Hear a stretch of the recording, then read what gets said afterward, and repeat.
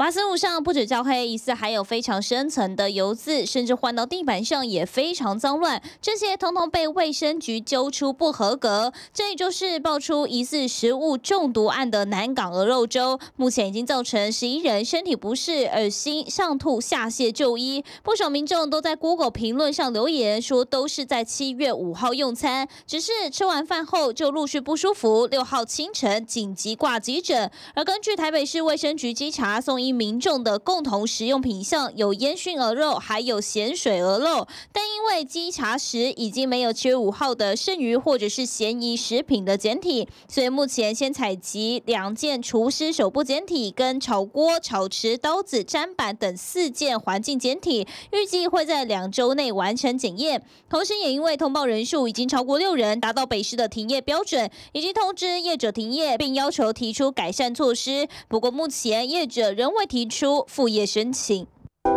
想看最完整的新闻内容，记得下载 TVBS 新闻网 APP。